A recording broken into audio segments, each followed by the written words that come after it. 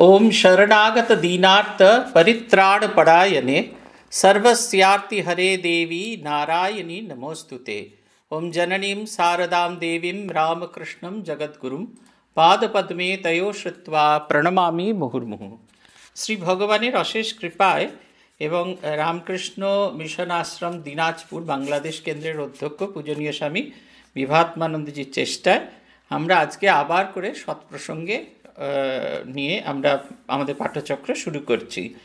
সাত প্রসঙ্গে সৎপ্রসঙ্গে এগুলিটি বক্তৃতামালা পূজনীয় স্বামী বিশুদ্ধানন্দজি মহারাজ, যিনি রামকৃষ্ণ সংঘের অষ্টম সংঘগুরু ছিলেন, তিনি বিভিন্ন সময় বিভিন্ন জায়গায় গিয়ে দীক্ষা, মন্ত্র দীক্ষা দিয়েছিলেন এবং সব সময় সৎপ্রসঙ্গ করার জন্য তার বিশেষ সুনাম ছিল। তিনি আমাদের প্রথম সহ সংঘাধ্যক্ষ আগে আমাদের কেবলমাত্র সংঘাধ্যক্ষ ছাড়া আর কেউ মন্ত্র দীক্ষা দিতে পারতেন না। কিন্তু তিনি হলেন আমাদের প্রথম সহ সংঘাধ্যক্ষ যিনি বক্তৃতা দিতেন। শঙ্করানন্দজি স্বাস্থ্যের কারণে সব জায়গায় গিয়ে উঠতে পারতেন না। তাই তার প্রতিনিধি রূপে ঠিক যেরকম রামচন্দ্রের খরম নিয়ে ভরত রাজা ইয়ে করতেন, আমাদের রাজত্ব চালাতেন, একদম ঠিক সেই ভাবটি। তিনি যেন সংঘগুরুর প্রতিনিধি, তিনি শ্রীরামকৃষ্ণের প্রতিনিধি হলেন সংঘগুরু এবং তার প্রতিনিধি রূপে তিনি বিভিন্ন জায়গায় যেতেন, জিজ্ঞাসু মানুষকে মন্ত্র দীক্ষা দান করে তৃপ্ত করেছেন এবং সব জায়গায়, সব ক্ষেত্রে তিনি সৎপ্রসঙ্গ করতেন। বিগত দিন আমরা আলোচনা করছিলাম ওনার একজন শিষ্যের গল্প শ্যামাপত মহারাজ। তিনি আপনারা অনেকেই দেখেছেন, তিনি বেশ দীর্ঘ সময় আমাদের শিক্ষাকুলীন গ্রাম কেন্দ্রের অধ্যক্ষ ছিলেন। উনি বলছিলেন, আগেকার দিনে এখন যেটা পিপিটিসি আছে, সেই পিপিটিসির ওখানে আগে ওই টেকনিক্যাল ইনস্টিটিউট ছিল এবং সেই টেকনিক্যাল ইনস্টিটিউটে তিনি দেখাশোনা করতেন, একদিন কাজের জন্য বেরিয়ে গেছেন। সকাল সকাল কোনো রকমে জব ধ্যান সেরে ফিরেছেন বেরিয়ে গেছেন। ফিরে আসবার পরই তাকে ডেকে পাঠিয়েছেন পূজনী স্বামী বিশুদ্ধানন্দজি। তখন প্রেসিডেন্ট মহারাজরা থাকতেন হচ্ছে আমাদের, এখন যে স্বামীজির ঘর আছে, স্বামীজির ঘরের পাশের ঘরটা। সেই ঘরটায় থাকতেন। উনি যেতেই গিয়ে দেখলেন মহারাজজি বসে জপ করছেন। উনি গিয়ে প্রণাম করা মাত্রই বললেন, তুই তোকে যে দুটো মন্ত্র দিয়েছি, একটা ঠাকুরের, একটা মায়ের মন্ত্র আছে মায়ের মন্ত্রটা জপলিনি এটা একটা অদ্ভুত ব্যাপার, এই গল্পটা উনি আমাদের অনেক বার করে করতেন। যে শুধুমাত্র তিনি খুব বড় মাপের আধ্যাত্মিক গুরু ছিলেন তাই নয়, তিনি খানিকটা মায়ের মতো ছিলেন, রক্ষাকর্তা। এটা সব ক্ষেত্রে, সাধকের জন্য সব ক্ষেত্রে এটা প্রযোজ্য তো। সেই কারণে আপনারা ওনার বক্তৃতায় দেখবেন অনেক সময় অনেক জিনিসের রিপিটেশন আছে, কিন্তু প্রত্যেকটি অত্যন্ত সুন্দরভাবে বলা, আমাদের, আমরা সাধারণ জীবনে কেমন করে এগোবো, কি করে আমাদের নিজেদের অন্তর্নিহিতভাবে বিকাশ সাধন হবে, এই সমস্ত কিছুকে এত সুন্দর করে তিনি বর্ণনা করতেন। আজকে আমরা যে বক্তৃতামালার যে বক্তৃতাটি পড়ব, সেটি তেত্রিশ নম্বর বক্তৃতা। এটি দেওয়া হয়েছিল শ্রীরামকৃষ্ণ মিশন আশ্রম শিলচরে পাঁচই এপ্রিল উনিশশো সাতান্ন সাল। গানের একটি উল্লেখ করেছেন, চিন্তয় মম মানস হরি চিদ ঘন নিরঞ্জন, কিবা অনুপম ভাতি মোহন মূরতি, ভকত হৃদয় রঞ্জন।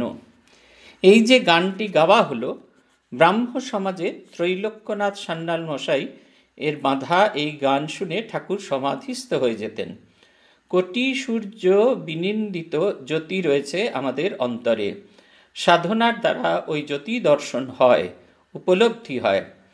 এরই আলোয় সূর্য, চন্দ্র, গ্রহ, তারা, জগৎ সব আলোকিত হয়ে আছে। তিনি না থাকলে, তার এই জ্যোতি না থাকলে সব অন্ধকার হয়ে যেত। আমাদের ভেতর সেই চৈতন্য জ্যোতি রয়েছে, তার দ্বারা আমাদের বিচার বুদ্ধি চালিত হয়েছে। আর কয়েকদিন বাদেই, আর বেশি দিন খুব বেশি দিন বাকি নেই। আর কয়েকদিন বাদেই আমরা কল্পতরু উৎসব পালন করব। কল্পতরু বলতে আমাদের বেশি ভালো লাগে, তার কারণ আমরা ভাবি শ্রীরামকৃষ্ণর কাজই ছিল শুধুমাত্র দেওয়ার। তা কিন্তু নয়, সেই কারণে স্বামী শারদানন্দ যে উৎসবটিকে কল্পতরু বলতে রাজি ছিলেন না। দেখবেন, লীলা প্রসঙ্গে বলা আছে, আত্মপ্রকাশে অভয়দান। ঠাকুর আশীর্বাদ করছেন, তোমাদের আর কি বলব? তোমাদের চৈতন্য হোক। আমাদের ভেতরের যে চৈতন্য সত্তা যেটি ঘুমিয়ে আছে, যে কারণে আমি যে মানুষ, আমি যে দেবমানবে রূপান্তরিত হতে পারি, আমরা যে বুঝতে পারি না, সেই চৈতন্য সত্তার জাগরণের কথা তিনি বলছেন। আর তোমাদের কি বলব? তোমাদের চৈতন্য হোক। রবীন্দ্রনাথ ঠাকুরের গানে আছে, ওই, যে জন আমার মাঝে ঘুমিয়ে আছে, ঘুমের জালে আজ এই সকালে ধীরে ধীরে তার কপালে এই অরুণ আলোর সোনার কাঠি ছুঁইয়ে দাও। বলছেন যে জন আমার মধ্যেই ঘুমিয়ে আছে। স্বামীজির কথায় আছে religion is the manifestation of the divinity already in man education is the manifestation of the perfection already in man এই দুটো সংজ্ঞার ভেতরে একটা খুব কমন ফ্যাক্টর আছে। কমন ফ্যাক্টরটা হলো এই। দুটোতেই বলছেন manifestation of the dot dot already in man এই অলরেডি ইন ম্যানটা খুব ইম্পর্ট্যান্ট আমাদের কাছে প্রত্যেকটি সম্পদ আছে। কিন্তু আমরা নিজেরাই জানতে চাই না। আজকে সকালে একটা গল্প আপনাদের সাথে শেয়ার করেছিলাম। যারা ফেসবুক পড়েছেন তারা জানেন একজন ভদ্রলোক তিনি হোটেল চালান, খুব ভালো কফি শপ চালান, সারা দিন ধরে কাজ করছেন। বিকেলবেলা একটু একটু টিপ টিপ করে মাথা ব্যথা শুরু হয়েছে। তারপরে মাথা ব্যথা শুরু হওয়াতে তাও তিনি কাজ করে চলেছেন। একটা সময় তিনি যখন খুব মাথার যন্ত্রণা হচ্ছে, তখন তিনি তার কর্মীদেরকে দায়িত্ব দিয়ে বেরিয়ে পড়লেন। বেরিয়ে হাঁটতে হাঁটতে গিয়ে রাস্তার অন্য পারে একটা ইয়ে আছে মেডিসিন শপ আছে। সেই কেমিস্ট্রি শপে গিয়ে তিনি একটা মাথা ব্যথার ওষুধ কিনলেন, জল দিয়ে খেয়ে ওখানে খানিক্ষণ বসলেন। তারপর একটু মাথার যন্ত্রণা কমতে জিজ্ঞেস করলেন যে, দোকানের মালিক মিস্টার শর্মা, তিনি কোথায়? যিনি বিক্রি করছেন, সেই মেয়েটি বলল যে, মিস্টার শর্মা আজকে এসেছিলেন। বিকেল থেকে ওনার খুব মাথা ব্যথা করছে, তাই উনি আপনার কফি শপে গেছেন। বলেছেন, গরম গরম কফি খেলে ওনার মাথাটা ছাড়বে। এটা কিন্তু আমাদের সবার জীবনের গল্প আর কি। আমরা মনে করি, সমাধান সূত্র সব বাইরে আছে, বাই, ভেতরে কোথাও নেই। তাই আমরা এখান, ওখান, সেখান সর্বত্র খুঁজে বেড়াই। এই আছে আমাদের একজন সাধু আছেন এখনও আছেন। তার সম্পর্কে বলা হতো মানে তার নামটা দিয়ে, কুত্র, সে কোথায়? আর তিনি সব জায়গায় ঘুরে বেড়াতেন নিজের ডিপার্টমেন্ট ছাড়া। তাই বলা হতো আত্র তত্র সর্বত্র। আমাদের অবস্থাও ঠিক সেই রকম। আমরা ভগবানকে আমাদের হৃদয়ে খুঁজি না। অত্র তত্র সর্বত্র। চতুর্দিকে খুঁজে যাই। কিছুতেই নিজের হৃদয়ের ভেতরে খুঁজি না। যে আমাদের ভেতরে যে আমরা অসীম শক্তিশালী আছি, অসীম শক্তি, মায়েরা যে কেন খোঁজেন না আমি বুঝি না। তার কারণ হচ্ছে, বাবারা তো ইউজলেস ওটা বাদই দিন। বাবারা অন্য কোনোভাবে নেবেন না। মায়েরা যে কেন খোঁজেন না আমি বুঝি না। বাপের বাড়ি থেকে দুটি চারটি বোধহয় খুব বেশি হলে রান্নাবান্না শিখে আসেন। তাই দিয়ে সারা জীবন একটা গোটা কেটারিং সার্ভিস চালানো। আমার তো মাঝে মাঝে খুব বিস্ময় লাগতো। দূর থেকে দেখেছি, কাঁচা মাছ দেখলেই আমার কি ঘেন্না করতো। সেই মাছ কি সুন্দর করে কেটে তার ভেতরে মালকড়ি বার করা। কি নিখুঁত হাতে আর্ট। আমি দেখতাম পাখনা ছাড়াচ্ছেন, এই ছাড়াচ্ছেন, ঠিকঠাক করছেন। তারপরে আবার তাকে তেল মশলা দিয়ে ওটা হাত দিলেই তো আমাদের কীরকম নোংরা নোংরা লাগে। সেইটাকে কি সুন্দর একবারে ভয় ঘৃণা সব ছেড়ে দিয়ে ফুটন্ত তেলে আমি বহুবার পুড়েছি। সেই ফুটন্ত তেলে সেই এটা ছাড়ছেন, আবার কায়দাটাও জানেন, কত দূর থেকে ছাড়তে হবে, ট্যাংরা মাছের এটা ছিটকে আসবে না, সমস্ত কিছু। তারপরে ওই যে সর্ষে, সেটাকে দুটো, একটা পাটা আর একটা ইয়ের মধ্যে ঘসঘস ঘসঘস ঘসঘস করে ঘুরে, একবারে তাদের হাতের ভেতরে শক্ত সর্ষের বীজও একবারে নরম মোলায়েম হয়ে গেল। এই যে এত শক্তি তাদের ভেতরে আছে, আমি মাঝে মাঝেই ভাবি, কেন মায়েরা বুঝতে পারেন না? তার চেয়েও বড় কাণ্ড হচ্ছে নিজের শরীর থেকে আরেকটা শরীর তৈরি করতে দেওয়ার মতো ক্ষমতা। এইটা আমার কাছে একবারে সত্যিকারের খুব বড় বিস্ময় যে যারা এত শক্তিশালিনী তারা নিজেরা জানেন একটি সন্তান প্রসব হলে কতগুলি হাড় ভেঙে যাওয়ার মতো একসঙ্গে যন্ত্রণা হয়। সমস্ত যন্ত্রণা সহ্য করেও জগতের কাছে তারা একটা নতুন শক্তিকে, নিজের প্রাণকে উৎসর্গ করেন। অথচ তাদের ভেতরে যে এত মহাশক্তি আছে এটা তারা কেন বিশ্বাস করতে চান না? এটা আমার কাছে একটা খুব বিস্ময়ের ব্যাপার। মহারাজ বলছেন, এই যে গানটি গাওয়া হলো, ব্রাহ্ম সমাজের ত্রৈলক্য সান্যাল মশাই এর বাধা। এই গান শুনে ঠাকুর সমাধিস্থ হয়ে যেতেন। এই গান শুনে ঠাকুর সমাধিস্থ হয়ে যেতেন। কেন? তার কারণ ওই যে চিন্তয় মম মানস হরি, চিৎ ঘন নিরঞ্জন। সেই চিৎ ঘন নিরঞ্জন, সেই সচ্চিৎ স্বরূপ, সেই নিরঞ্জন মালিন্য রহিতকে কোথায় চিন্তা করতে হবে? চিন্তয় মম মানস হরি আমার মনে যখন তাকে চিন্তা করছি, অন্য কোথাও না, আমার মনে তাকে চিন্তা করছি, সেই সত্তাকে আমার তার চিন্তা করছি। তখন যখন চিন্তা করি, তখন কিরম দেখায়? কিবা অনুপম ভাতি মোহন মূরতি ভকত হৃদয় রঞ্জন। আমার তার সেই অদ্ভুত অনুপম ভাতি তাকে দেখতে এত সুন্দর যা কোনো উপমা দিয়ে বোঝানো যায় না। যেমন আমাকে দেখতে কেমনই, আজকে খানিক্ষণ আগে দিব্যানন্দজির একজন ভাইপো এসেছিলেন, তিনি আমাদের এখানকার এসপি। তার কন্যা বলছিলেন যে, আমাকে দেখতে নাকি খানিকটা দিব্যানন্দজির মতো এই যে উপমা দিচ্ছেন। আর কিছু না, আমারও ভুঁড়ি আছে, ওনারও ভুঁড়ি আছে, আমি লম্বা, উনি লম্বা, আমি বেটে, আমি ক্যার ক্যার করে কথা বলি, উনি আমার চেয়ে মিষ্টি বলেন। কিন্তু আমি চোখ টিপে টিপে কথা বলি না। কিন্তু কোথাও একটা সিমিলারিটি খুঁজে বেড়াচ্ছে। কিন্তু ভগবান হলেন এমন জিনিস তাকে কোনো কিছু দিয়ে উপমা, কোনো উপমা দিয়ে যাকে বোঝানো যায় না। কিবা অনুপম ভাতি, মোহন মূরতি, কেমন সে মূর্তি যে মূর্তি দেখলে মোহিত হয়ে যেতে হবে, ভীষণ রকমের। এত সৌন্দর্য, এত তার বিউটি একবারে মোহিত হয়ে যাবে মন। ভক্ত হৃদয় রঞ্জন, ভক্তরা যখন সেই অনুপম মূরতি হৃদয়ে চিন্তা করে, তার হৃদয়টি রঞ্জিত হয়ে যায়। রঞ্জিত মানে কালারফুল হয়ে যায় তা নয়। তার সেই রংটি, রং যেন মোর মর্মে লাগে, আমার সকল কর্মে লাগে। সন্ধ্যা দ্বীপের তারায় লাগে, গভীর রাতের ছায়ায় লাগে, রাঙিয়ে দিয়ে যাও যাও যাও এবার যাওয়ার আগে। সেই তাকে চিন্তা করতে করতে তিনি যখন চলে যাচ্ছেন মানে যে সময় আমার ধ্যান শেষ হয়ে যাচ্ছে, তার যে সেই রেখে যাওয়া রংটা, সেটা যেন আমার সব কাজে লাগে। রং যেন মোর মর্মে লাগে, আমার সকল কর্মে লাগে। আমার মনে যেন সেই রঙের একটা পাকাপোক্ত ব্যবস্থা হতে পারে। আমি যা কিছু করছি, যে যাই করি না কেন, সব কিছুর মধ্যে সে তার প্রকাশটি যেন আমি দেখতে পারি। আত্মস্থানেন্দ্রজি বলতেন না এমন একটা ধর্মজীবন যাপন করবে যাতে দূর থেকে দেখে লোকে বলে রামকৃষ্ণ বিবেকানন্দ করে। মানে ওই রকম ওই যে আমাদের অভিষেকের মতো দাঁড়িয়ে রাখতে হবে তারপরে বিট্টুর মতো এরকমভাবে সবসময় থাকতে হবে। তা কি? তা নয়। তার সেই ভেতরের সেই যে সৌন্দর্যটা সেটা আমাদের শব্দে, স্পর্শে, আমাদের সব কিছুর ভেতরে আসবে। হয়তো আপনারা খারাপভাবে নেবেন, কিন্তু একটা অদ্ভুত সুন্দর গান আছে। একেবারে আধুনিক গান, সচিনকর্তার গান। বর্ণে গন্ধে বর্ণে ছন্দে গন্ধে গীতিতে হৃদয় দিয়েছ দোলা। রঙেতে রাঙিয়ে রাঙাইলে মোরে একই তব হেরি খেলা। তুমি যে আগুন, রঙেরই আগুন, তুমি যে রসেরও ধারা। তোমার মাধুরী, তোমার মদিরা, করে মোরে দিশাহারা। মুক্তা যেমন শক্তির ওকে, তেমনি আমাতে তুমি। আমার পরাণে প্রেমের বিন্দু তুমি শুধু তুমি। ওই যে যখনই শেষের অংশটা তুমি শুধু তুমি দু চারবার করে তিনি তার সেই নেজাল টোনে গান, ওইটা শুনতে শুনতে খালি মনে হতো আমরা কবে ঈশ্বরকে, ঈশ্বরের প্রতি এরকম বলতে পারি কারণ আমাদের জীবনের সবটুকু জুড়ে তিনি। বর্ণে, গন্ধে, ছন্দে, গীতিতে কি ছিল আমাদের বলুন তো? আমাদের কিচ্ছু ছিল না। একটা বর্ণ দিয়েছেন, গৈরিক বর্ণ। হৃদয়ের ভেতরে, সবার ভেতরে ইচ অ্যান্ড এভরি ওয়ানের মধ্যে। তিনি আসা মাত্র আমার ভেতরে একটা বৈরাগ্যের রং, একটা পেইন্টিং করে দিয়েছে। বর্ণে, গন্ধে মানে গা থেকে কি একবারে সেই চার্লস স্প্রেনের স্প্রে গন্ধে বেরোচ্ছে? তা নয়। আমাদের ওই যে বলছেন, সুগন্ধিম পুষ্টিবর্ধনম, শিব সম্পর্কে বলা হয়, সুগন্ধিম পুষ্টিবর্ধনম।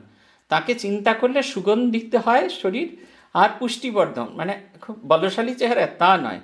মন খুব দৃঢ় হয়, শক্ত হয়। সুগন্ধি শব্দটার অর্থ হচ্ছে, আমার এমন সুগন্ধ কি করে? যেখানে যেখানে বয়ে যায়, এক ঘরে একটা ধূপ জ্বললে পুরো ঘরটা সুগন্ধে পূর্ণ হয়ে যায়। সেই মানুষ যে ঈশ্বরকে চেয়েছে, সে যেখানে যেখানে যায়, সেখানে যাওয়া মাত্র, সেই সব জায়গাটা তার সেই দিব্য সুগন্ধে ভরপুর হয়ে যায়। তাই বলছেন, বর্ণে গন্ধে, ছন্দে গীতিতে। আমাদের জীবনটা কখনো বেচাল হয় না। ছন্দ একটা রিদমিক ওয়েতে যায়। আমরা এই অন্যদের মতো সেই হেলা ফেলা জীবনযাপন করি না। ছন্দে গীতিতে হৃদয়ও দিয়েছ দোলা। আমার হৃদয়কে তুমি দোলা দিয়েছ। রঙেতে রাঙিয়া রাঙাইলে মোরে এই কি তব হেরি খেলা? আমি তো চাইনি।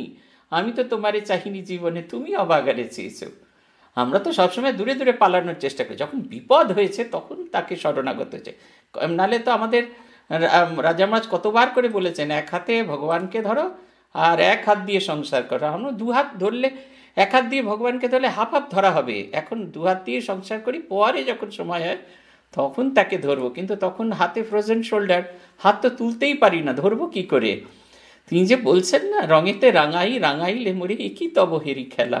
এ তোমার কি ধরনের খেলা? এই যে হোলি যখন আমরা খেলি, একে অপরকে রঙিন করে দিই না? ভগবান যেন আমার আমি খেলতে চাইছি না।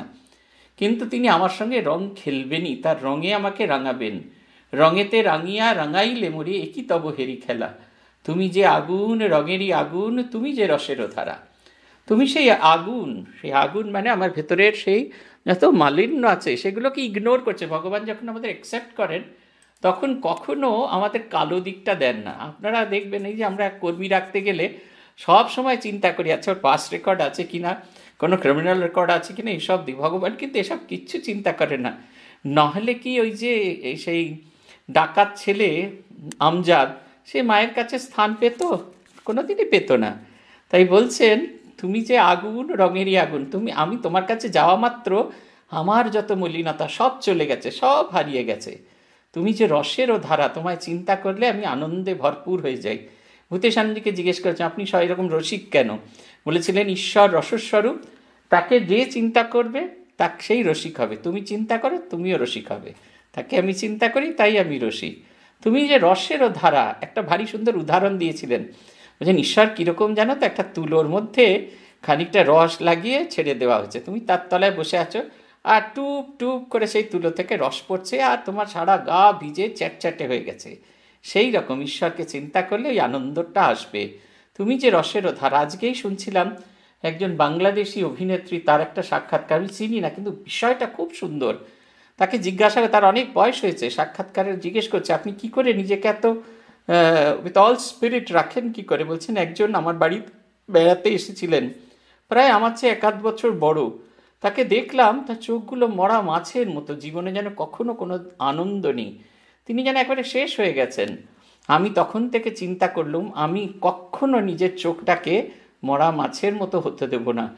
জীবনের প্রতি মুহূর্ত, প্রতিটি ছন্দ আমি কাজ করব। আমি তো আর কিছু পারি না, আমি অভিনয় করতে পারি, এই সৃষ্টি দিয়ে আমি নিজেকে আনন্দতে রাখব। যখন আমার কিচ্ছু থাকবে না, তখন পুরনো কাজগুলো বারবার দেখব, তার খুদ বার করব, মনে মনে কল্পনা করব, সে সেগুলোকে যদি আবার নতুন করে করা যায়, তাতে কি কি পরিবর্তন আনা যায়? কিন্তু আমার ইনোভেটিভ ভাবটা আমি কখনো ছাড়তে চাই না। সাধকের মনের ভেতরে এই ভাবটা থাকা দরকার। তুমি যে আগুন রঙেরই আগুন, তুমি যে রসের ধারা, তোমার মাধুরী, তোমার মদিরা, করে মোরে দিশাহারা। তোমার যে যে মিষ্টত্ব, তোমাকে যত ভাবছি আমি তার মধ্যে। তোমার ভালোবাসা কীরকম মদিরার মতো। মদ কি করে ইনটক্সিকেটেড করে দেয়? আমাদের বুঝতে দেয় না, বাইরের জগৎটাকে মিথ্যে করে দেয়। ঠাকুর তো তাই করেন, বাইরের জগৎটাকে মিথ্যে করে দেন। চেনা পরিচিতি সব মানুষকে হারিয়ে দেন। আজকে একজন এসছেন, দেখছিলাম, কালকে, কালকেই এসছেন। যখন উনি বসেছেন, ওরা সবাই মিলে এমন করে চেয়ারে বসেছেন যে পেছনে যারা আসবেন তারা আর দাঁড়িয়ে দাঁড়িয়ে ছাড়া আর কোনোভাবে দেখা যায় না। তা আজকে আমি তাকে অনুরোধ করলাম, চেয়ারগুলোকে যদি একদিকে করে বসেন, মাঝখানটা যদি ফাঁকা থাকে, তাহলে বাইরে যারা এসেছেন, যারা ওপরে উঠতে চান না অন্তত, তারা ওখান থেকে ঠাকুরকে দর্শন করতে পারেন। খুব অসন্তুষ্ট হলেন আমার পর। তারপরে আমি তো খুব বৃষ্টি করে বলতে পারি না, যতটা এখন বৃষ্টি করে বলছে, ততটা নয়, খুব কড়া করে বলেছি। তারপরে আমরা ইয়ে করলাম আর কি, চেয়ারগুলোকে একদিকে করেছি। আমাকে বলছে, ও দাদা, শুনুন শুনুন। তা গেলাম, ও দাদাকে ডাকছে? শুনুন শুনুন। ওই আমার একজন বন্ধু এসেছে সে কিন্তু মেঝেতে বসতে পারে, তার জন্য চেয়ার দিন না এখানে। আমি তখন মায়ের ঠোঁটের গোড়া এসে গেছিল উত্তরটা, কিন্তু নিজেকে সংযত করে, আপনি দেখুন, ওই যে আপনার বন্ধু যে চেয়ার চেয়ার বসতে পারে না, তার জন্য আপনি ভাবছেন। কিন্তু আপনার পেছনে যে মানুষগুলো দাঁড়িয়ে দাঁড়িয়ে ঠাকুরকে দেখতে পাচ্ছেন না, তাদের জন্য কিন্তু একবারও ভাবছেন না। সাধক এইখানে, জগৎ তার আপনার। এই জগতে কেউ পর নয়। তাই বলছেন, তুমি যে রসেরও ধারা, তোমার মাধুরী, তোমার মতিরা, করে মোরে দিশাহারা। মুক্তা যেমন শুক্তির বুকে, তেমনি আমাতে তুমি। মুক্তা যেরকম শুক্তির বুকে থাকে, শুক্তির বুকে জলকণা হয়ে ধীরে ধীরে ধীরে ধীরে সে ফর্ম করে। ঠিক সেই রকম তেমনি আমাতে তুমি। তুমি আমার তো মোস্ট প্রেশাস থিং। তুমি জলো হয়ে এসেছিলে, শক্ত হয়ে আমার ভেতরে রেখেছ। শুধু তাই নয় তোমার উপস্থিতি তোমার উপস্থিতি আমাকে তোমার উপস্থিতি আমাকে তোমার ইয়ে করেছেন। তোমার উপস্থিতির কারণে আমি আজকে এত দামি হয়ে গেছি। আমাদের লোকে আপনাদের, আমাদের কেন লোকে ভালোবাসে? তার কারণ হচ্ছে আমরা শ্রীরামকৃষ্ণকে ভালোবাসি। শ্রীরামকৃষ্ণের সংসারের বাসিন্দা। নাহলে খেঁদা, পোচা, বচা, এই তো আমাদের পরিচয়। এর বাইরে তো কোনো পরিচয় ছিল না। বলার মতো তো কোনো পরিচয় ছিল না। তাই বলছেন, তো মুক্তার বুকে তেমনি আমাতে তুমি, আমার বরণে প্রেমের বিন্দু তুমি, শুধু তুমি। যদি ভালোবাসতে কাউকে হয়, শুধু তোমাকেই ভালোবাসবো। আছে বর্ণনা, আছে শ্রীকৃষ্ণ রূপ দর্শন করছেন অর্জুন। তার সে দিব্য রূপ দর্শন করে তার মনে হয়েছে, এ জগৎ সংসারে যদি সবাই আমায় ছেড়ে দেয়, আমার একজন মানুষ আছে যাকে আশ্রয় করা যায়। অতএব যদি জানতে হয়, শুধু তোমাকেই জানব খেঁদা পোছা পচাকে জানব না। তাই না কি যার কাছ থেকে আমরা ঘর, বাড়ি, সম্পত্তি থাকবে, তাকে তো আমরা আদর যত্ন করি যে শ্বশুর মশাই শাশুড়ি মাকে আদর যত্ন করি, ভালোবাসি যে যাওয়ার সময় বিছে হাটটা আমাকেই দিয়ে যাবেন হ্যাঁ? তারপরে শ্বশুর মশাই দু কাঠা জমি লিখে দেবেন হ্যাঁ? বা ওই পৈতৃক বাড়ির একতলাটা দিয়ে যাবেন, যেটা ভাড়া খাটিয়ে আমি একটুখানি ইয়ে করতে পারি। আমাদের তো সবসময় স্বার্থ থাকে। ঈশ্বরের সঙ্গে রকম স্বার্থ নিয়ে মিশতে হবে। যে আমি জানি, যত তোমার কাছে যাব, তত আমি উন্নত হব। যত তোমার ট্রেনিং পাবো, তত আমি উন্নত। আমার পরাণে প্রেমের বিন্দু, তুমি শুধু তুমি। তাই শুধু তোমাকেই যেন ভালোবাসতে পারি। এ তুমি ছাড়া আমার জীবনে যেন কোনো অল্টারনেটিভ না থাকে। এই যে আমাদের যখনই জীবনে অল্টারনেটিভ থাকে, আমাদের একটা অপশন থাকে, জীবনটাই অপশনাল হয়ে যায়। তখন খেদাকে ভালো লাগল না, পোঁচাকে ভালো লাগছে, পোঁচাকে ভালো লাগল না, পচাকে ভালো লাগছে। স্বামীজি বলছেন না, রামের সাথে ঘর হলো না বলে কি স্বামীর সাথে ঘর করতে হবে? আদর্শ নিষ্ঠতা। আমি একটা উন্নত মানের জীবনযাপন করতে চাই। মহারাজ বলছেন, যে কোটি সূর্য বিনিন্দিত জ্যোতি রয়েছে আমাদের অন্তরে, এরই আলোয় সূর্য, চন্দ্র, গ্রহ, তারা, জগৎ সব আলোকিত হয়ে গেছে। এর আলোয় কি করে, আমাদের হৃদয়ের আলোয় কি করে আলোকিত হয়? আমরা যখন নিজেরা আলোকিত হই, জগৎটাকে আলোক দেখি। নালে ওই যে সাড়ে চুয়াত্তরের মতো শিক্ষিত মহিলাদের যে আলোকপ্রাপ্তা এনলাইটেন বলা হচ্ছে আলোকপ্রাপ্তা, জগৎকে আমাদের আলোকপ্রাপ্তা বলে মনে হবে আপনারা পরে আবার কমেন্ট বক্সে লিখবেন, এই সাধু ভীষণ সিনেমার গল্প করে। তা নয়। এই ছোট্ট ছোট্ট জীবনের গল্পগুলো কিন্তু আমাদের খুব শেখায়, শিখতে সাহায্য করে। এই আলোকপ্রাপ্তা মনে হবে। তাই কার, আলোকপ্রাপ্তা কেন মনে হচ্ছে? কারণ আমার ভেতরটা অন্ধকার। ওইখানে আলোক দেখছি বলে আমার হিংসে হচ্ছে। কিন্তু যদি আমার ভেতরের আলোটা জ্বলে ওঠে, তাহলে জগতের সব জায়গায়, সব জায়গাটাকে আলোকিত মনে হবে। যে বলছেন না, কথার ভিতর খুব গভীর অর্থ আছে। সব আলোকিত হয়ে আছে, এরই আলো এরই আলোর মানে নিজের হৃদয়ের যে আলো, সেই আলোটা যদি একবার প্রজ্বলিত করতে পারি, তাহলে জগৎটাকে আমি আলোকিত দেখব। তিনি না থাকলে, তার এই জ্যোতি না থাকলে সব অন্ধকার হয়ে যেত। তিনি যদি না থাকতেন, আমার ভেতরটাকে যদি আমি আলোকিত না করতে পারতাম, সব অন্ধকার হয়ে যেত। আমাদের ভেতর সেই চৈতন্য জ্যোতি রয়েছে, তার দ্বারা আমাদের বিচার বুদ্ধি চালিত হচ্ছে, যেটা দিয়ে শুরু করেছিলাম। যে ঠাকুর বলছেন, আর কি বলব? তোমাদের চৈতন্য হোক। আমাদের ভেতরের সেই চৈতন্য সত্তা যেটা ঘুমিয়ে আছে, সেটা জাগরিত হোক। আমরা যেন অনুভব করতে পারি, আমরা অসীম শক্তির উৎস। ঠাকুর বলতেন, হাঁড়িতে আলু বেগুন সিদ্ধ হচ্ছে। ছোটবেলায় মাকে ডেকে বলছে, ছোট ছেলে মাকে ডেকে বলছে, মা, দেখো দেখো, সব কেমন লাফাচ্ছে। ছেলে তো জানে না, আসল জিনিস হয়েছে হাড়ির নিচে, আগুন। আলু বেগুনের বাহাদুরি কোথায়? তিনি আছেন বলে জীবজগৎ চলছে। তার চৈতন্যে সব প্রাণবান। শ্রী ভগবান অর্জুনকে যখন বিশ্বরূপ দেখালেন, কত বড় বীর তা সহ্য করতে, কত, অত বড় বীর তা সহ্য করতে পারলেন না। কেমন করে পারবেন? পূর্ব দিকে যদি এককালে সহস্র সূর্য উদিত হয়, তার সেই জ্যোতির কণামাত্র প্রকাশ করবে। ঠাকুর জগদম্বার সেই জ্যোতির্ময় রূপ দর্শন করেছিলেন। বিজলি চমকে, সেরূপ আলোকে অপরূপ বর্ণনা। এই জ্যোতি দেখে মানুষ পাগল হয়ে যায়। অদ্ভুত তার জ্যোতি। আমরা কখনো আমাদের সব সময় জীবনে জানেন তো, উদ্দেশ্য থেকে বিধেয়র প্রতি আকর্ষণ থাকে। হৃদয়রাম চলেছেন ঠাকুরের পেছন পেছন, অনেক দূর অব্দি চলেছেন। ঠাকুর ইয়েতে যাবেন, বাজছে যাবেন, তার পেছন পেছন গাড়ু গামছা নিয়ে চলেছেন। হঠাৎ এমন সময় তিনি দেখলেন যে একবারে সব জায়গাটা আলোকিত হয়ে আছে। কোথায় এত আলো হচ্ছে? দিনের মতো আলো হচ্ছে? এটা দেখতে গিয়ে তিনি দেখলেন, ঠাকুরের সরা শরীর থেকে আলো বেরোচ্ছে। এত আলো বেরোচ্ছে, এত আলো বেরোচ্ছে, জঙ্গলটা একবারে দিনের মতো, ঝাউতলাটা দিনের মতো লাগছে। শুধু ওইখানেই থেমেনি। তার যে আলোতে এবং সেটা মনে হচ্ছে যেন ঠাকুর যেন, ঠাকুরের শরীর নয়, সেটা যেন চৈতন্য ঘনীভূত, জ্যোতির ঘনতনু। জ্যোতি যেন ঘনীভূত হয়ে একটা শরীর ধারণ করেছে। এবং মাটির এই পৃথিবী থেকে এক হাত উপরে সেটা আছে। তারপরে তিনি নিজের দিকে তাকাচ্ছেন। তিনিও আলোকিত, কিন্তু শ্রীরামকৃষ্ণ যদি ঘনতনু হয়, তিনি তার একটি কলাংশ। ছুট্টে গিয়ে ঠাকুরকে বলছে, ও রামকৃষ্ণ, আমরা কি করছি? আমরা, তুমি আর আমি চলো, দেশে দেশে যাই, গিয়ে ভগবানের কথা বলি যাই।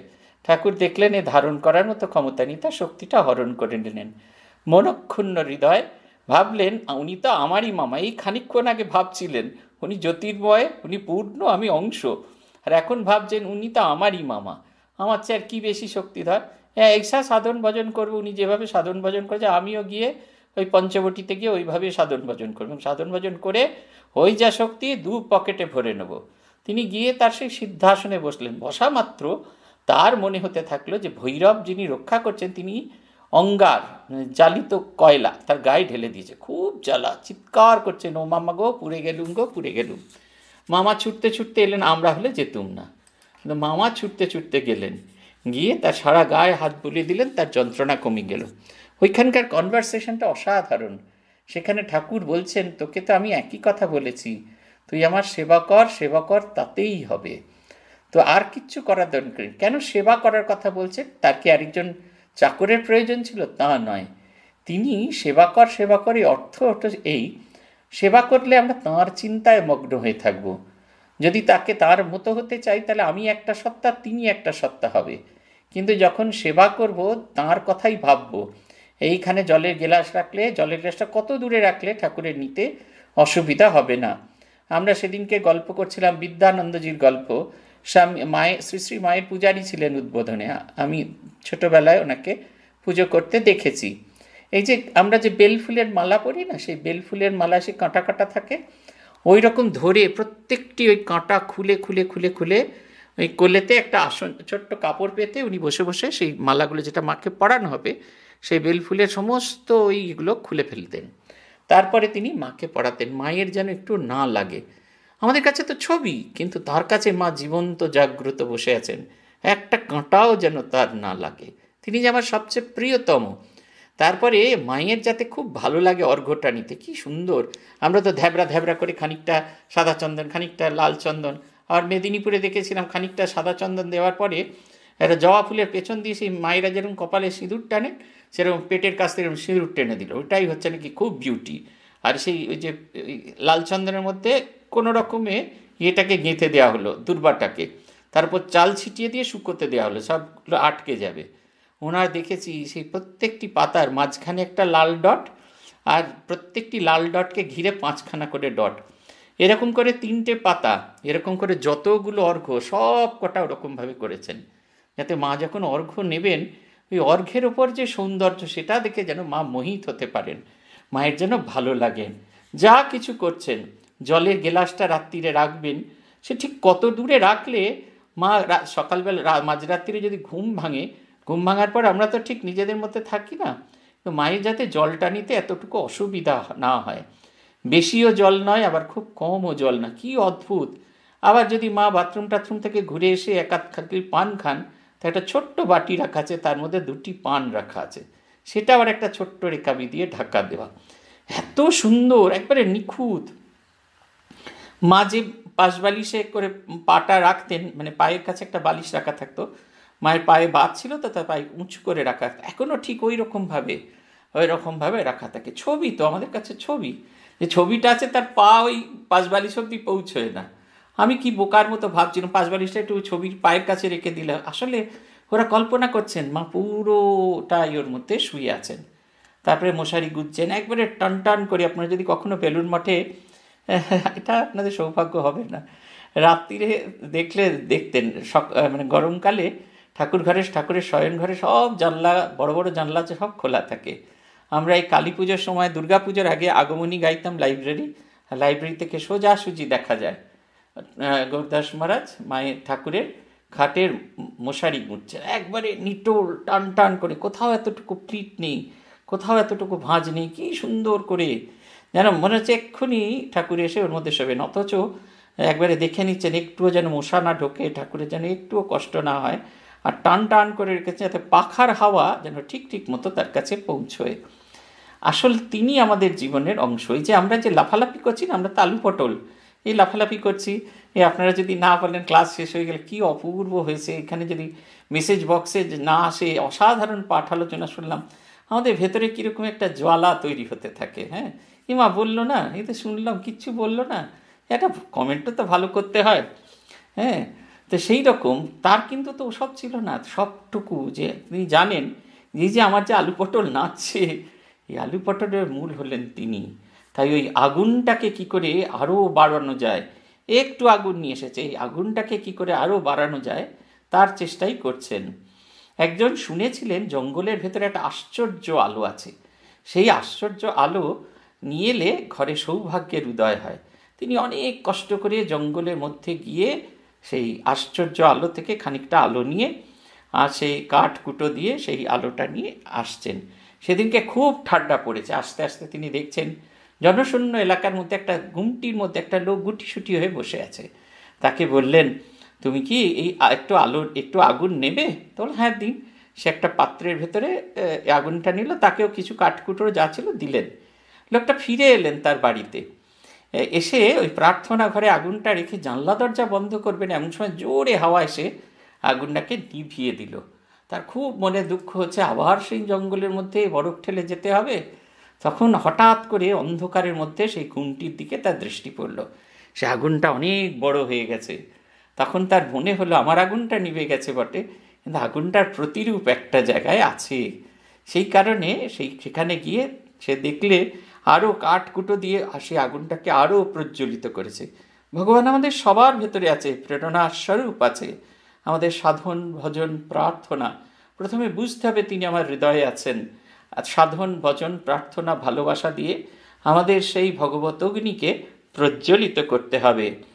কেমন করে পারবেন বলছেন, পূর্ব দিকে যদি এককালে শ্রীকৃষ্ণ যখন, কারণ ভগবান যখন তার বিশ্বরূপ দর্শন করলেন, অমন যে বীর তিনিও দর্শন করতে পারছেন না। তিনি বলছেন, আমি আপনার সেই চতুর্বাহু মূর্তি দেখতে চাই।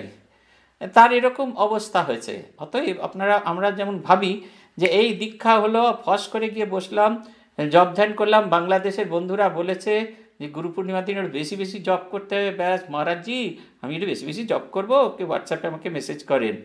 ওটা নয় গুরুর উপর গুরুগিরি করতেনি ঠিক তিনি যেমনটি বলেছেন, সেইভাবে একটু একটু করে এগোলে যখন তিনি দেখা দিতে আসবেন, তখন যেন আমি তার দেখা পাই।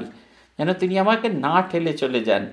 সেই আবার একটা রবীন্দ্রনাথের গান মনে পড়ছে। আজ শ্রাবণ ঘন গহন মহে গোপন তব চরণ ফেলে। ওইখানে আছে, কুজনহীন কানন ভূমি দুয়ার দেওয়া সকল ঘরে। একেলা কোন পথিক তুমি পথিকহীন পথের পরে? হে একা সখা, হে প্রিয়তম, রয়েছে খোলায় ঘর মম। সমুখ দিয়ে স্বপন সম, জীবন আমরে হেলায় ফেলে। আজি শ্রাবণ ঘন গহন মোহে, গোপন তব চরণ ঠেলে, নিশার মতো নীরব হয়ে সবার দিঠি এড়াইছিলেন তিনি যখন দর্শন দিতে আসবেন, তিনি কি বলে আসবেন? সবাইকে বলে আসবেন? আরে বামুন, দেখো, আমি তো দর্শন দিতে এসেছি, তা কিন্তু আসবে না। তিনি আসবেন একবারে নীরবে, নিঃশব্দে আসবেন। কিন্তু আমরা যেন তাকে দর্শন করবার জন্য প্রস্তুত হয়ে বসে থাকি। সেই ঠাকুরের গল্পের, এই যিশুর গল্পের, সেই দশটা মেয়ের মতো তারা সেই বর দেখতে গেছিল, প্রদীপের মধ্যে তেল ভরে নিয়ে গেল। পাঁচটা মেয়ে দেখল, বর আসতে দেরি আছে, তারা প্রদীপটাকে নিভিয়ে রাখল, অপেক্ষা করতে থাকল। তাদের এখনও দর্শন করার সময় হয়নি। আর পাঁচটা মেয়ে বোকার মতো আলোটা জ্বালিয়েই রাখল। অবশেষে বর যখন এলো, তখন তাড়াতাড়ি তারা প্রদীপটাকে প্রজ্বলিত করে বরকে আবাহন করে বাসর ঘরে নিয়ে গিয়ে দরজা বন্ধ করে দিল। এই মেয়েরা তাড়াতাড়ি করে অন্য দোকান থেকে তেল টেল ভরে যখন এলো, তখন দেখছে বাসর ঘরের দরজা বন্ধ। বারবার ঠোকা দিচ্ছে, বারবার ঠোকা দিচ্ছে, কিন্তু কিছুতেই আর ইষ্ট দর্শন তাদের হলো না। এইটা যেন আমাদের না হয়, এই জীবনটা যেন বৃথা না চলে যায়। তাকে দর্শন করার যোগ্য হয়ে উঠতে হয়, কারণ তিনি ঠিক দর্শন দেবেন। এবং যখন দর্শন দেবেন, আমরা যেন সেই দর্শনে অভিভূত হতে পারি, আমরা যেন সেই দর্শনটিকে হজম করার মতো আমাদের মধ্যে ক্ষমতা হয়। মহারাজ বলছেন, মনের ময়লাই আমাদের বেঁধে রেখেছে, তার দিকে যেতে দিচ্ছে না। মন্ত্র জপের উদ্দেশ্য হল মনের ময়লা ধুয়ে ফেলা। সংসারে যে সমস্ত বিষয় আমাদের মনকে আকর্ষণ করে, সবই ভগবানের পাদপদ্মে দিতে হবে।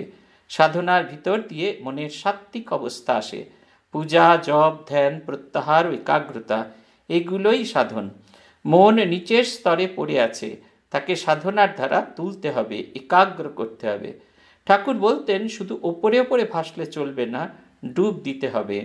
রামপ্রসাদ গাইছেন, খুলে দে মা চোখের ঠুলি হেরিগো তোর অভয় পদ। মা, তুই যে ভেতরে রয়েছিস তা দেখিয়ে দে। তুই তো আমার আমার চোখের ঠুলি পরিয়েছিস। এখন তুই ঠুলি খুলে দে। এই যে বলছেন মনের ময়লা, আমরা ভগবানকে দেখতে পারি না কেন? কারণ মনের ময়লা আমাদের বাধাপ্রাপ্ত করেছে। আগের ক্লাসটায় বলছিলাম পুঁথিতে যে যখন আয়নাতে ময়লা পড়ে, তখন আমরা কি করি? আমরা তাড়াতাড়ি করে একটা কাগজ জলে ভিজিয়ে ভালো করে মনটাকে একবারে সিক্ত করে দিই, আয়নাটাকে সিক্ত করি। তারপর একটা শুকনো কাপড় দিয়ে হেইও মারি জোয়ান ঠেলি করে ঘষে ঘষে ঘষে ঘষে সেইটাকে পরিষ্কার করে দিই, তখন তাতে দৃশ্যমান হয়। মনের ময়লা কীরকম যায়? প্রার্থনা, ভক্তি এবং আন্তরিকতা, আকুলতা। আমাদের চোখের জলে আমাদের মনের ময়লা ধুয়ে যায়। আর তখন জ্ঞানের সিক্ত শুকনো বস্ত্র দিয়ে আমাকে সেইটাকে ওই মনটাকে পরিষ্কার করে ফেলতে হয়। তখন সেই জোলো আয়নাতে আর তখন আর দেখতে হয় না। তখন সেই পরিষ্কার ঝকঝকে আয়নায় নিজেকে দেখি। দেখবেন যেরকম আপনারা সাজগোজ করে যখন কোনো অনুষ্ঠান বাড়িতে যান, যাওয়ার আগে শেষবারের যখন আয়নায় দেখেন, তখন মনে হারি এটা আমি? আমাকে এত সুন্দর দেখতে? আমরা নিজেরাই নিজেদের চিনতে পারি না। ঠিক সেই রকম।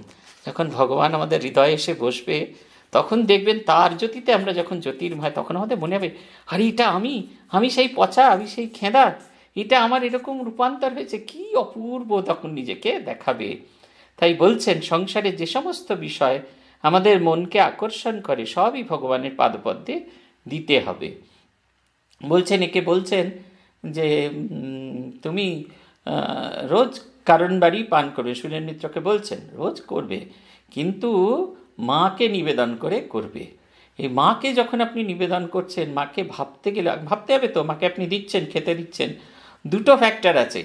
মা তো আমার বড় নিচে তাকে কি কারণ বাড়ি দিতে পারি? কোথায় একটা লজ্জা হবে, তাই না? যেমন ছোট ছেলেরা যখন প্রথম স্মোক টোক করে, মা জেনে ফেললে, দেখে ফেলে খুব লজ্জা পায়। ইস চিচি দেখে ফেলল, জেনে ফেলল। কোথাও একটা দূরত্ব আমাদের তৈরি করে রাখতে, সেই মানে সীমারেখাটাকে আমরা অতিক্রম করতে চাই না, এটা হচ্ছে এক নম্বর কথা। আর দুই হচ্ছে, ভগবান চিন্তা করলে তার যে আনন্দ, সে আনন্দটা তখন এত তীব্র আমাদের মনের ভেতরে হতে থাকে তখন আর তার চেয়ে নিচের বা খারাপ আনন্দকে আমাদের কাছে আমাদের আকৃষ্ট করে না। এটা কিন্তু আমাদের ভীষণ ভীষণ করে বুঝতে হবে। তার যে, তার চেয়ে ছোট কোনো আনন্দ আমাদেরকে আকৃষ্ট করতে পারে না। তখন তার আনন্দে ডুবে গেলে কারণ আনন্দকে আর সাধারণ আনন্দ বলে বোধ হবে না।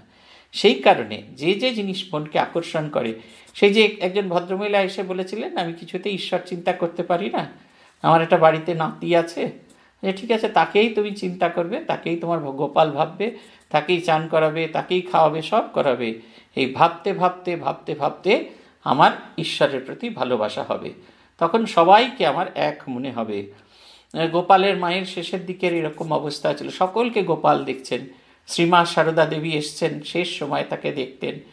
গোলাপ, গোপাল মা বলছেন, ও, গোপাল এসেছ? গোপাল এসেছ? তারপরে মায়ের মা ভাবাবস্থায় আছেন। মা বললেন, পায়ের ধুলো নিয়ে ওই গোপালের মায়ের মাথায় দিয়ে উনি এগিয়ে আসছিলেন, প্রণাম করবে। কিন্তু শারীরিক অসুস্থতার কারণে তিনি উঠতেই পাচ্ছেন না, নড়তেই পাচ্ছেন না। তখন মা তার সেবিকাকে বললেন যে, ওই একটু মায়ের পায়ের থেকে রুমালি করে একটু ধুলো নিয়ে ওনার মাথায় দিয়ে দিতে। বলছেন, পূজা জব ধ্যান, প্রত্যাহার ও একাগ্রতা, এগুলি সাধন। এগুলো করতেই হবে। এগুলো না করলে হবে না। কিন্তু প্রত্যেকটি একটাকে পেরিয়ে পেরিয়ে যাওয়া হবে। দেখবেন একটা সময় আর অত ঘণ্টা নাড়া টাড়া ইচ্ছে করে না। তখন মনে হয় মন দিয়ে জব করি। আবার জব করতে করতে মনে হয় যে, না, আর জব করব না। খানিকটা এই জব করেছি, এবার খানিকটা ধ্যান করি। ধ্যানেই আনন্দ। তারপরে একটা সময় ধ্যানের ওইটা চলবে। তখন দেখবেন যা কাজ করছেন সব কাজের ভেতরে একটা অদ্ভুত একাগ্রতা কাজ করছে। বলছেন, মন নিচের স্তরে পড়ে আছে, তাকে সাধনার দ্বারা তুলতে হবে, একাগ্রতা করতে, একাগ্র করতে হবে। এ তো সাধনার সব ক্ষেত্রেই হয়। আপনারা ওই যে দু পিস দু পিস রেসিপি শিখে সেই যে একশো রকম পদ যে রান্না করতেন কি এমনি হলো নাকি? সাধনার দ্বারাই তো। প্রথম দিকে দু ইঞ্চি আদা মেপে মেপে তারপরে কাটতেন। এখন আর দেখতেন এমনি করে পটাশ করে ভাঙলেন, কচকচ করে চপ করলেন। আমি তো খুব ভয় পাই চাকু চাকু দিয়ে এরা কাটে কী করে? আমার খুব রান্না ভালোবাসি বলে খুব যত ওই যে রান্নার শোগুলো আছে, সেগুলো দেখি। নিশা মধুলিকা ডট কম। সে ফচফচ ফচফচ ফচফচ করে কাটছে। আমি হাঁ করে ভাবি কি করে কাটে। আঙুলও কেটে যায় না, কিছুই কেটে যায় এটা হচ্ছে প্রফিসিয়েন্সি এই হচ্ছে করতে করতে করতে করতে করতে করতে সাধনায় সেই ভাবেতে আস। ঠিক ওই জিনিসটা আমাদের সাধন ভজনের ক্ষেত্রে করতে হয়। সাধন করতে করতে, সাধন ভজন করতে করতে প্রথম দিকে মন এদিক ওদিক ছড়িয়ে যাচ্ছে। মনে হচ্ছে যাই গিয়ে একটুখানি ওই কুইন্স ক্যাসেল দেখে আসি। তারপর হচ্ছে, না, যাই গিয়ে একটুখানি বর্ণেন কেন্দ্রে গিয়ে গুরুকে একটু হ্যালো করে আসি। এইরকম নানা রকম আমাদের ইচ্ছা হচ্ছে, কিন্তু আস্তে আস্তে তখন আর ইচ্ছা করছে তখন মনে হবে, শুধু তাকে ডাকি, বিরলে তাকে ডাকি। বলছেন, রামপ্রসাদ গাইতেন, খুলে দেমা চোখে ডুলি হেরি গোতর অভয়পদ রামপ্রসাদ তো ভক্ত, তাই দুটোই ভগবানের কাছে পাঠিয়ে দিছে বলটাকে ছুঁড়ে মায়ের পায়ে দিয়ে দিয়েছে। এই বলছেন, মা, তুই যে ভেতরে রয়েছিস তা দেখিয়ে দে। তুই তো আমার চোখে ঠুলি পরিয়েছিস, এখন তুই ঠুলি খুলে দে। আমি নিজে চশমা পরে আছি, এটা কিন্তু কিছুতেই বলছেন না। এদিক দিয়ে কবি আরও খানিকটা এগিয়ে আছেন। তিনি বলছেন, আছো অনল অনিলে, চির নভনীলে ভূধর সলিলে গহনে, আছো বিটপিলতায় জলদের গায়ে, শশী তারকায় তপনে। অনুভব করছেন তিনি তিনি সব কিছুর পেতে বিরাজ করছেন। আমি নয়নে বসন আর কেউ বাঁধেনি। আমাদের কেউ আটকায় না। হ্যাঁ কেউ আমাদের ভগবানের দিকে এগিয়ে যেতে আটকায় না। বলছেন, আমি আমি আর কেউ নয়। আমি নয়নে বসন বাঁধিয়া, বসে আধারে মরিক কাঁদিয়া। আমি দেখি নাই কিছু, বুঝি নাই কিছু। দাও হে দেখায়, বুঝায় বলিন মর্ম বুঝায় কেউ আমার চোখে ঠুলি পড়ায়নি। আমি আমি নিজেকে ঠুলি পড়িয়েছি। আমি নিজেকে লুকিয়ে রাখতে চেয়েছি সবার কাছ থেকে। সেই কারণেই তো আমার আজকে এরকম অবস্থা। আমি তো চাইনি। আমি তো তোমারে চাহিনি জীবনে। তুমি অভাগারে চেয়েছো। আমি চাইনি। আরে ধুর ভূতেশানন্দজি আজকে প্রথম, দেখি উনিশশো অষ্টআশি সালে আমাদের পূর্বাশ্রমের কাছে একটা আশ্রম, যেখানে ঠাকুর থাকতেন, সেখানে ঠাকুরের ছবি বসাতে এসছেন। এমনি করে মুখ বাড়িয়ে দেখলাম কীরকম খ্যারখ্যারে গলা হ্যাঁ ওই রকম বুড়ো মতো মানুষ বসে, দূর দূর। ইনি কি রামকৃষ্ণ মিশনের ভাইস প্রেসিডেন্ট? ছি ছি, বলে চলে গেলাম। কি দুর্ভাগ্য, তার ঠিক ছ মাসের মধ্যে ওই খড়খড়ে গলা ওলা, ওই থুরথুরে বুড়োর কাছ থেকে আমাকে জীবন কেমন করে পেরোতে হবে, তার পথ খুঁজে বার করতে হলো। আমরা আসলে তাকে চাই না, তিনি আমাদের জোর করে চান। তাই যে রামপ্রসাদ তো ভক্ত, সে ছুঁড়ে দিয়েছে। বলছে, আমি চোখটোক বাঁধিনি, তুই মা বেটি, আমার চোখটা বেঁধে দিয়েছিস। এখন যদি তোর অভয় পদ আমি দেখতে চাই, এখন দেখতে কেমন করে চাইবে? তুই যখন আমার চোখের এটা খুলে দিবি। সব কিছু পুরো বলটাকে অপোজিট সাইডে ছুঁড়ে মেরেছেন। আমরা ক্রমাগত ছুটছি। কোথায় একটু আনন্দ পাবো, কোথায় শান্তি পাব চারিদিকে ঘুরে ঘুরে যখন দেখি বাইরে শান্তি পাওয়া গেল না, তখন ফিরে আসি। আরম্ভ হয় ভেতরের খোঁজা। তখন থেকেই ধর্মজীবনের, তখন থেকেই ধর্মজীবনের আরম্ভ। ভগবানকে আশ্রয় করে অনাসক্ত হয়ে সংসার করলে, ভগবানকে আশ্রয় করে অনাসক্ত হয়ে সংসার করলে এখানেই শান্তি আনন্দ পাওয়া যায়। একমাত্র তিনি সত্য নিত্য বস্তু। আমরা ক্রমাগত ছুটে চলেছি, মনে হচ্ছে ওখানে গেলে ওরকম হবে। এই যে গুরু মন্ত্র দীক্ষা দিয়ে দিলেন, তখন তো একটু ভাব, আবেগ থাকল। সব ইনস্ট্রাকশন ঠিক ঠিক শুনিনি। সেখানে ওষুধ কখন খেতে হবে ভুলে গেছি তো। খাবার আগে খেতে হবে না খাবার পরে খেতে হবে? বলে দিয়েছে ঘুমের ওষুধ, খাবার আগে খেতে হবে। না, দেখি। একদিন একটু খাবার পরে খেয়ে দেখি। তারপরে এপার পার করছি, পাইচারি করছি। তোর ওষুধটায় কিচ্ছু নেই। সবাই কিরম ভোস ভোস করে ঘুমোচ্ছে বাড়িতে বিনা ওষুধে।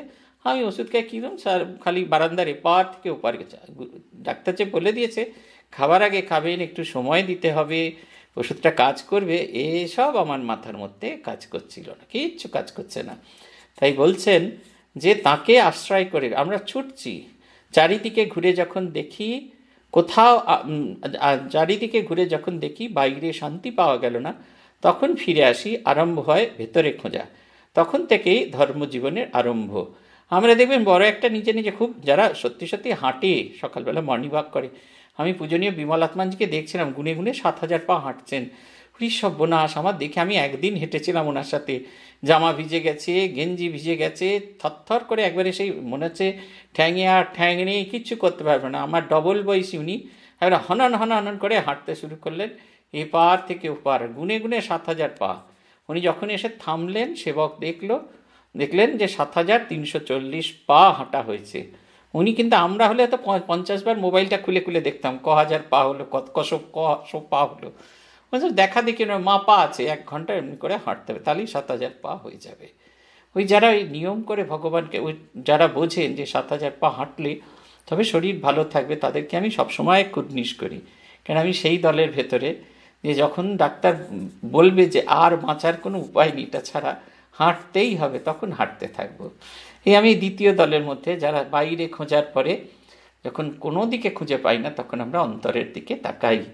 কি সুন্দর বলছেন, ভগবানকে আশ্রয় করে, তার মানে কি সংসার ছেড়ে সব নেগট পরে বেরিয়ে পড়তে হবে উত্তরকাশিতে? তা নয়, বলছেন ভগবানকে আশ্রয় করে অনাসক্ত হয়ে সংসার করলে এখানেই শান্তি ও আনন্দ পাওয়া যায়, কোথাও যেতে হবে না। ভগবানকে আশ্রয় করতে হবে, ওই যে আশ্রয়টা কীরকম? অপশনাল নয়। তুমি আমার, নাথ তুমি সর্বস্ব আমার।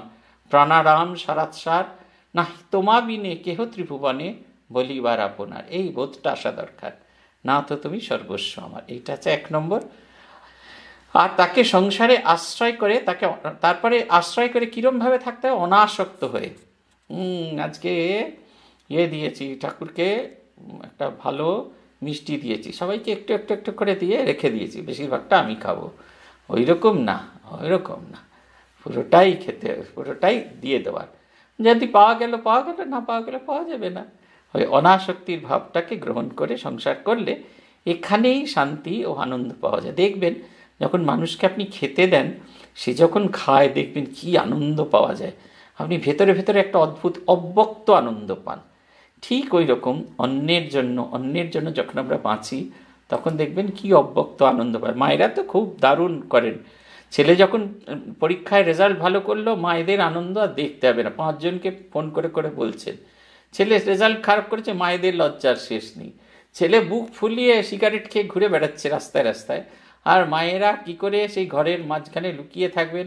ফোন এলে বারবার এখন ইয়েতে দেখবেন স্ক্রিনে দেখবেন কে ফোন করেছে, আর আবার সেই পরনিন্দা পরচর্চা শুরু করবে। বাবা, দরকার নেই ফোন ধরা বিজি নাহলে মায়েদের ফোন অফ নাহলে একবারে সাইলেন্ট মোডে পাঠিয়ে দেবেন। হ্যাঁ এমন সাইলেন্ট মোড ফোন আর কাঁদবেই না। তাই বলছেন, তাকে আশ্রয় করে, করলে আনন্দ শান্তি আনন্দ পাওয়া যায়। একমাত্র তিনিই সত্য, নিত্য বস্তু। তিনি একমাত্র সত্য। আর জগৎ সংসারে আর সবটি মিথ্যায় বোধটা হওয়া দরকার। হয়তো হয়তো জীবনের শেষে বোধ হয়। কিন্তু এটার একটা প্রারম্ভিক, একটা আইডিয়া থাকা দরকার। নাহলে কিন্তু আমরা কিছুতেই সাধন জীবনে এগোতে পারব না। ভগবানের ধ্যান করতে, ভগবানের ধ্যান করতে হবে হৃদয়। চুম্বকের মতো তার তাকে আকর্ষণ করতে হবে। ধ্যানের মূলে রয়েছে জ্যোতি। সাকার ধ্যান তো জ্যোতির্ময় মূর্তির ধ্যান। সাকার নিরাকার যেমন জল আর বরফ, রূপ থেকে অরূপে যাওয়া যায়। শুদ্ধ মনে তার ধ্যান হয়। তম থেকে রজ, তারপরে সত্য, ধাপে ধাপে যত ওঠা যায় তত মন শুদ্ধ হয়। তমগুণ জ্বরের মতো অবস্থা হয়। রজগুণে চঞ্চল ভাব, শান্ত সাত্বিক মনে কেবল শান্তি আর শান্তি। হৃদয়ে ধ্যান করতে হবে। কীরকম ধ্যান করতে হবে? যে বলছেন, চুম্বকের মতো আকর্ষণ করতে হবে। আমাদের সবার বসা মাত্রই ছিটকে বেরিয়ে যায়। তখনই মনে হয় কাজের মেয়েটা বাসন ভেজে দিয়ে গেছে, ভীমের দাগ একটু দেখেছিলাম তখনই মনে হয় আজকে বাজারে করলার দামটা একটু বেশি নিয়েছে। তখনই মনে হয় ডিএ সিটটা আজকেও করল না ডিএ কি পাবো এবারে? তখনই এসব মনে হয়। এটা সবার হয়। It is nothing very unusual এটাকে বলা হয় বিক্ষেপ। আর সেই বিক্ষিপ্ত মনকে টেনে নিয়ে এসে ধেয় বস্তুতে নিয়ে আসায়। এটাকে বলা হয় প্রত্যাহার। মহারাজ একটি শব্দের মধ্যে বুঝিয়ে দিয়েছেন, চুম্বক। চুম্বক যেরকম লোহাকে আকর্ষণ করে, ভগবান যতই ছুটুক না কেন তাকে ধরে থাকতে হবে। একদম। গেলেই আবার খপ করে ধরে তাকে টেনে নিয়ে বসিয়ে দিতে হবে। ওই কারণে তার একটি ঠ্যাং ধরে রাখার কথা বলছেন। তিনি যখনই পালিয়ে যাবেন, আবার থেকে সেদিনকে একটা বিজ্ঞাপন দেখছিলাম। কীরকম, কত রকমের বাবা হয়, তার মধ্যে একটা responsible how many types of responsible fathers are there তার মধ্যে একটা, ট্রেনে স্টেশনে বসে আছেন বাবা, মা, বাচ্চা। আর সেই বাচ্চাটা ঘুমিয়ে পড়েছেন বাবার পাশে। বাবা কিন্তু তাকে মানে আঁকলে বসে আছেন। হঠাৎ করে বা, মাও ঘুমোচ্ছেন, বাবাও ঘুমোচ্ছেন। ট্রেন এসেছে, সেই ট্রেনের, থ্রু ট্রেন। সেই ট্রেনের আওয়াজে ছেলেটা উঠবার চেষ্টা করছে, কিন্তু ছেলেটা কিছুতেই উঠতে পারছে না। কারণ তার বকলের ভেতরে বাবার আঙুলটা লাগানো আছে। সে যখনই উঠবার চেষ্টা করছে, বাবার ওই বকলটা ধরে তাকে টান দিয়েছে। ব্যাস, আবার সে বসে পড়ল। আবার বাবা জেগে উঠে তাকে ওই কোলে নিয়ে সেই চলন্ত ট্রেন দেখাচ্ছে। ট্রেন যাতায়াত হলে একবারে শান্ত হয়ে বসে পড়লেন এই how many types of responsible fathers are there তার মধ্যে এই একটা ছবি আছে। ওই রকম ভগবান পালিয়ে গেলে খপ করে আগে তাকে ধরতে হয়, তবে চুম্বকের মতো ধরতে হবে। ধ্যানের মূলে রয়েছে জ্যোতি। ধ্যানের মূলে জ্যোতি, তার জ্যোতির্ময় রূপটি চিন্তা করতে হয়। বলা হয়, তিনি যেন একবারে ভীষণ আনন্দ স্বরূপ হয়ে বসে আছেন। তা তিনি আমার দিকে তাকিয়ে আছেন, একবারে আনন্দে ফুটি ফাটা হয়ে আছেন। তাকে তো দেখছি, সেই কারণে তাকে দেখছি কীরকমভাবে, আমার ভেতর দিয়ে তাকে দেখছি। আমার মুখ যেদিকে, তার মুখও সেই দিকে সেইভাবে তাকে দেখছি। দেখতে দেখতে তার মধ্যে তন্ময় হয়ে যাচ্ছি। বলছি, তন্ময়তা যখন আমি বুঝতে পারি, আমার আর আলাদা অস্তিত্ব নেই। শুধু তিনি বিরাজ করছেন, সেটা হচ্ছে নিরাকার ধ্যান। আমি নিজের স্বরূপকে ভুলে গেছি। তাকে ভাবতে ভাবতে ভাবতে ভাবতে এমন হয়েছে, ভুলেই গেছি। দেখবেন সমুদ্রের সামনে যখন গিয়ে আমরা দাঁড়াই, তখন হাঁ করে তাকিয়ে দেখি। ইদানিং যারা ফেসবুকে হোয়াটসঅ্যাপ করে, তারাও ঠিক ওই রকম নিজের সত্তা ভুলে যায়। আঙুল কটকট করছে ঠন ঠন করছে, ঝনঝন করছে। কিন্তু সেই আঙুল ঘুরিয়েই চলেছে ঘুরিয়েই চলেছে ঘুরিয়েই চলেছে। আমি তো দেখলাম যে কী যে অবস্থা, যে ঘুরিয়েই চলেছে। কিছুতে আর থামাথামি নেই। একবারে সেই আঙুলে ব্যথা নেই, মনে কষ্ট নেই, ঘড়ির কাঁটা ঘুরছে, তার বোধ নেই। হ্যাঁ সমস্ত কিছু ঘুরিয়েই চলেছে। কী অদ্ভুত আনন্দ। ওই রকম আমার নিজের সত্তাকে ভুলে থাকতে হবে ভগবানের দিকে। বলছেন, মন যত পরিষ্কার হবে, শুদ্ধ মন যত হবে, তত তম থেকে আমরা রজে উত্তীর্ণ হবে রজ থেকে সত্যে। তমগুণে জড়ের মতো অবস্থায় কিচ্ছু করতে ইচ্ছা করে না। এই শীতকাল আপনি আরও ভালো করে বুঝতে পারবেন। এই শীতকাল এসেছে, এই সময় আরও ভালো করে বুঝতে পারবেন। কারণ শীতকালেই সকালবেলা লেপের ইয়ে থেকে বেরোনো, এটা যে কী তপস্যা? হ্যাঁ? আমাদের সর্বপ্রিয়ানন্দ বলেছিল, উত্তর কাশিতে গেছে, গরমকালেই গেছে, কিন্তু স্নানের জল তো ভীষণ ঠান্ডা। বলছে, জলটাকে সূর্যের তলায় রেখে দিয়েছে, এক বালতি জল তুলে সূর্যের তলায় রেখে দিয়েছি। আর কল্পনা করছি, ওই সূর্যের আলো আসছে, ওই সূর্যের আলো আসছে, আর আমার জলটাকে একটু একটু উত্তপ্ত করছে। উত্তপ্ত করেছে ওপরের লেয়ারটা তারপর হচ্ছে প্রথম মগ জল দেওয়ার পর মনে করছি এটা আমার শরীর নয়, আমার মন নয়, কিচ্ছু নয়। হচ্ছে আবার দ্বিতীয় মগ দিয়েছি, তখন নাচছি, এমনি এমনি করে নাচছি। হচ্ছে না, আমার এটা মন, এটা আমার শরীর, কিন্তু ঠান্ডা যেন আর সহ্য হচ্ছে না। তারপর আবার তৃতীয় মগটা দিয়েছি, তারপরে আস্তে আস্তে সহ্য হয়ে গেল, তখন স্নান করা শুরু হয়ে গেল। ঠিক সেই রকম এই তমগুণ আমাদের কিছুতেই এগিয়ে যেতে দেয় না। রজগুণে প্রচণ্ড আমরা চঞ্চল হয়ে যাই, উদ্দেশ্যবিহীনভাবে আমরা কাজ করতে থাকি। আর সত্যগুণে আমাদের মন শান্তিতে ভরে যায়। ঠাকুরের উপদেশ, ঠাকুর কি বলছেন? হাতে তেল মেখে কাঁঠাল ভাঙো। কাঁঠাল ভাঙা মানে সংসারের কর্তব্য করা। আসক্তি আঠা সংসারে জড়িয়ে রাখে। অনুরাগ তেল মেখে কর্তব্য পালন করলে আর আসক্তি আঠা জড়াবে না। এই অনুরাগই তার দিকে নিয়ে যাবে। এই যে আসক্তি, সেই আসক্তি আঠাটা আমাদের ত্যাগ করতে হবে। উমাপ্রসাদ মুখোপাধ্যায়ের সঙ্গে দেখা করতে গেছিলাম একবার। আবার দীপ্তি চক্রবর্তীর কি হলো? তিনি হাত তুলছেন কেন? হাত তোলার কিছু নেই, মুশকিল। এই উমাপ্রসাদ মুখোপাধ্যায় বলছিলেন, বাবা মশাই সকালবেলা ভীমনাক থেকে এক ঝুড়ি, তখন তো ঝুড়িতে করে মিষ্টি হতো, এক ঝুড়ি মিষ্টি করে ইউনিভার্সিটি যেতেন। সেটা টেবিলে রাখা থাকতো। যখনই কোনো ভিজিটার আসতেন, তাকে বলতেন ঝুড়ি থেকে তুমি একটা মিষ্টি নাও, আমাকে একটা মিষ্টি দাও। তুমি একটা মিষ্টি নাও, আমাকে পুরো ঝুড়িটা খাবার যে আসক্তি, সেটা ওইভাবে উনি ত্যাগ করতেন।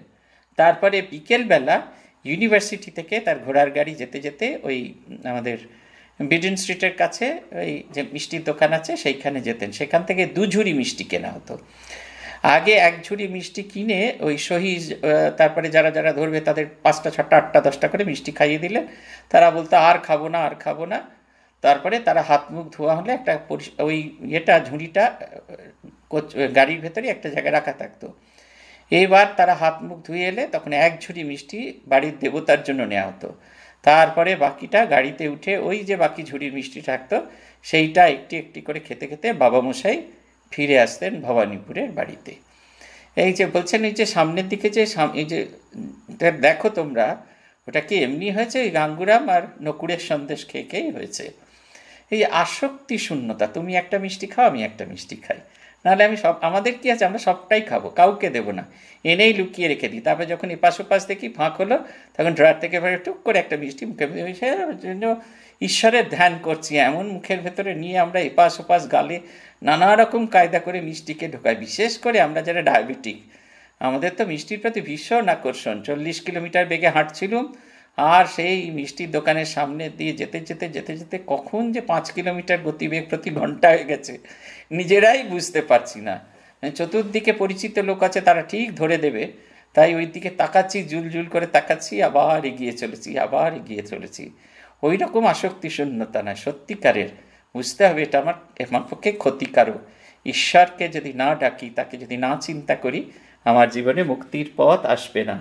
যখন এই আসক্তিটা চলে যাবে, তখন সংসার করলেও আমরা ভগবানের সংসার করব। একবারে উজাড় করে সংসার করব। কেমনে তোমা বিনে বাঁচি প্রাণে যাবত জীবন।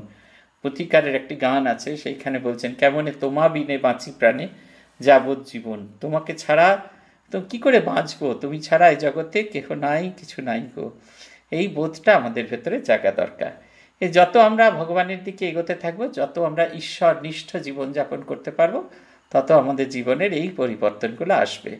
দেখবেন, কাউকে বলে দিতে হবে না।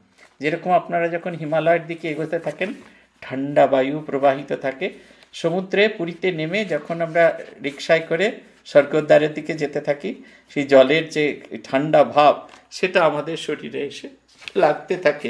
আমাদের বলতে হয় না যে আমরা হোটেলের কাছাকাছি এসে পড়েছি, ঠিক সেই রকম। যত ঈশ্বরের কাছে এগিয়ে আসতে থাকব, তত আমরা অনুভব করব যে আমরা ঈশ্বরের থেকে আর খুব বেশি দূরে নেই। ভগবানের কাছে প্রার্থনা এই বোধটা আমাদের যেন পাকা হয়। আমরা যেন সত্যি সত্যি অনুভব করতে পারি, আমরা তার কাছে এসে পৌঁছেছি। তিনি ছাড়া আমার এই জগতে আর কেউ নেই, কেউ আমার দুঃখের কথা শুনবে না। যেরকম মা চলে গেলে, বাবা চলে গেলে আমরা কষ্ট পাই, যে আর নিজের মতো করে বলার কাউকে খুঁজে পাচ্ছি না। ঠিক সেই রকম তুমি ছাড়া আমার এই জগৎ সংসারে কেউ নেই। এই যত আমরা ভগবানের দিকে এগোতে থাকব, দেখবেন জীবন সুন্দর হবে, শান্তির হবে, আনন্দ হবে। আজ এই পর্যন্ত। ॐ प्रणतानां प्रसीदत्वं देवि विश्वार्तिहारिणि त्रैलोक्यवासिनामिड्ये लोकानां वरदा भव ॐ शान्ति ॐ शान्ति ॐ शान्ति। हरिः ॐ तत्सत् श्रीरामकृष्णार्पणमस्तु।